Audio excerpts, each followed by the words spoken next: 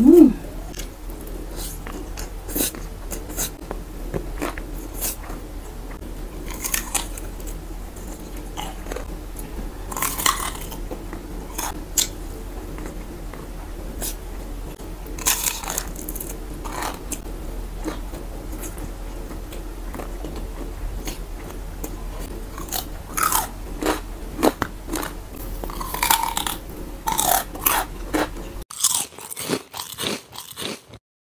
Hello, hello, cravings! Kamusta po kayo? Meron po tayo itong pansit canton, gisado at saka lechon kawale. Ay, napakasarap ito. Kasi ang dami kong napanood na nagmukbang nito, kaya makigaya na lang tayo. Ano?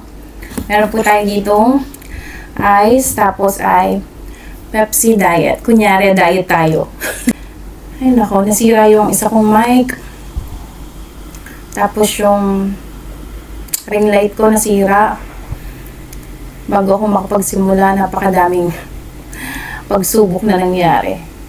Baka ayaw na tayong pagmukbangin. Sign na siguro yon na huwag na daw magmukbang.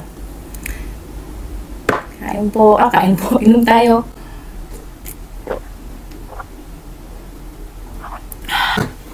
Ayun natin, dito Mang Tomas at saka patis na may kalamansi. Patis na may lemon. Ayan, tingnan nyo naman, grabe. Tapos ang ating sausawa lamang tongi. Sarap. Mm. Mm.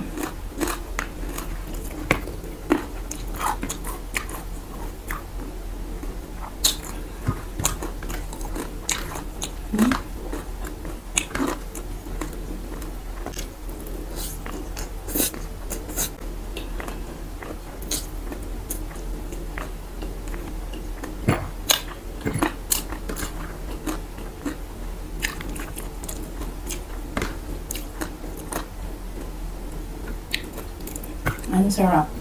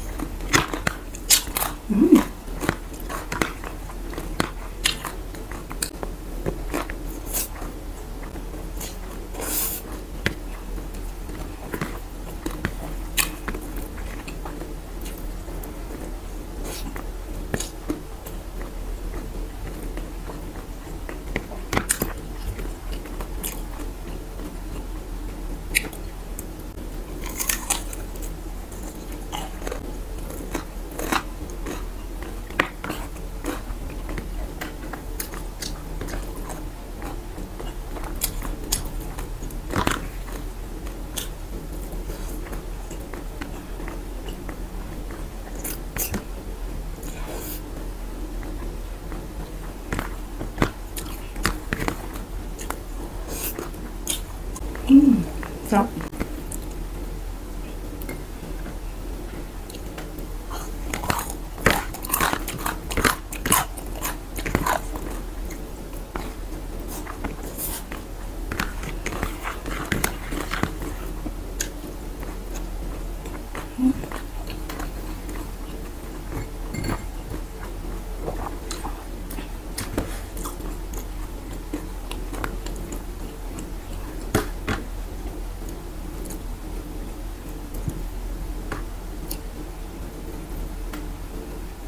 Ano pong gusto niyo? Pansit canton or pansit bihon? Ako po both, pero parang mas gusto ko. Gusto ko pareho.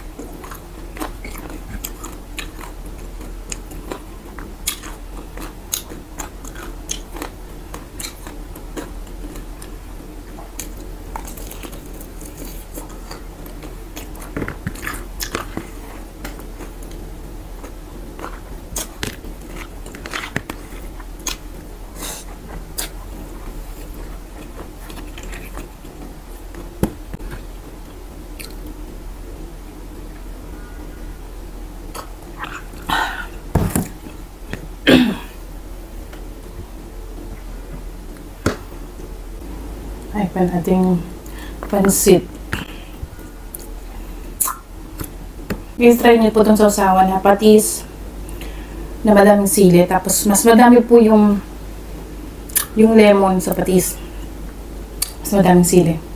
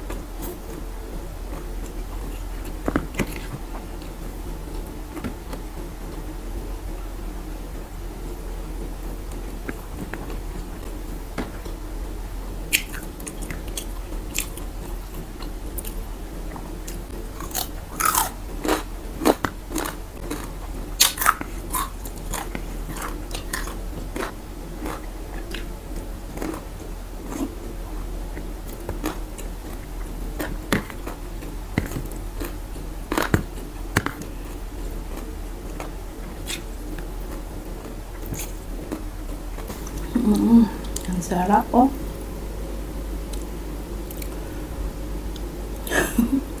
Parang sarap talaga dito.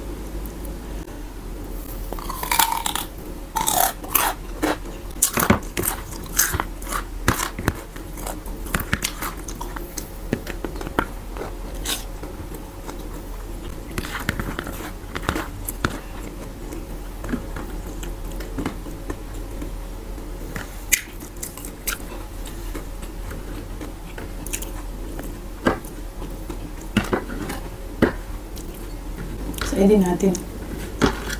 Para walang sayang. Saidin natin.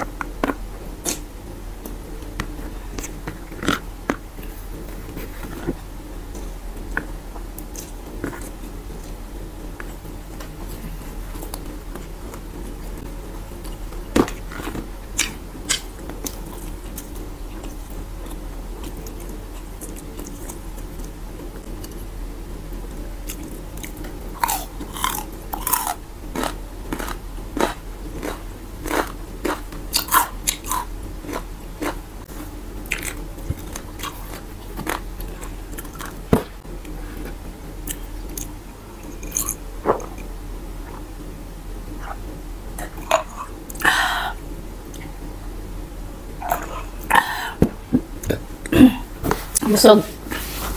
At mamaya ko na po ito lilinisin. Mag-shoutout na po tayo. Shoutout po sa aking mga members na sinda Iñaki Eats, Chenhen Capares at Remy Watkins. Don't forget po, supportahan po natin ang kanilang mga channel. Ito po ang kanilang mga channel. Sila po yung nagbumukbang and cooking doon. Madami po kayong matutunan. At salamat po at shout out po sa aking friends na si Baldeo family. Thank you po sa panonood nyo ng aking video. Don't forget po, i-follow nyo po ako sa FB page, Kikay Cravings. Bye!